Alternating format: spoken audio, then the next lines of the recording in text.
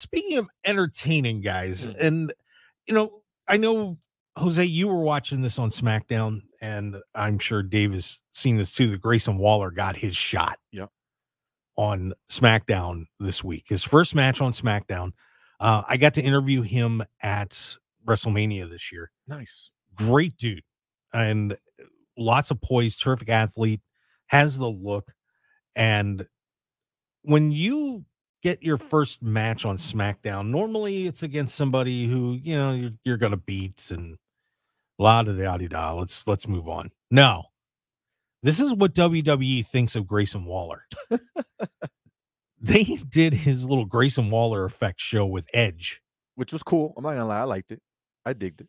Call and he he ends up getting to wrestle Edge in a pretty long match on SmackDown for his first match on there, and he looked great.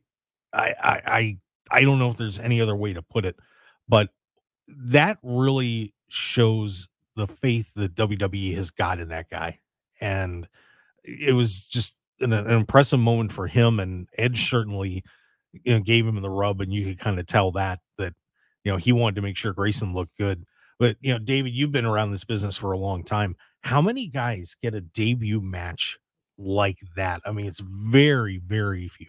Yeah, no, it says a lot about what what they think about him. And I, I'm be honest, I I've been out of the loop with NXT. So when he popped up at oh, what was that Money in the Bank, I was like, who is this clown? But obviously, he's been building his reputation. And how's that drink, Mark? It's good. All right, He's been- he's been building his reputation. what are you doing? I, I don't know. He's he's been uh, Unbelievable. yeah, I think I can go against Edge for Edge to give him that rub. I mean, that's a good thing and have a drawn out match. So yeah, they're building they're building superstars, man. I, I I love to see that because usually it's the top guys that just rotate, you know, around them belts. But yeah, let's bring up the next generation. Let's go. Yeah, Jose, I know you saw Grayson, and that I know that was probably your first time seeing him wrestle too. What did you think? My impression of him was good, man. I mean, he's he, his attitude, the way he can sell and speak to the crowd and actually give a show was really good. I liked it. And the crazy thing to me though, because I told you guys I used to watch a little bit of the rest, you know, wrestling before, so I knew who Edge was, obviously. So see, seeing Edge coming out was crazy.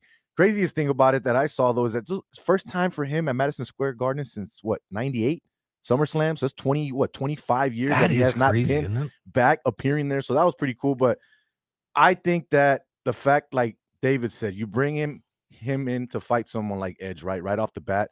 And not only that, with the scenario that I just mentioned is too, you know there's gonna be a lot of crowd, a lot of people there excited for him for sure. So it's a good way to bring him in. It's not just a filler. It's not just someone that was there to fight that night to give an appearance. So I definitely believe that they might be doing a lot more with this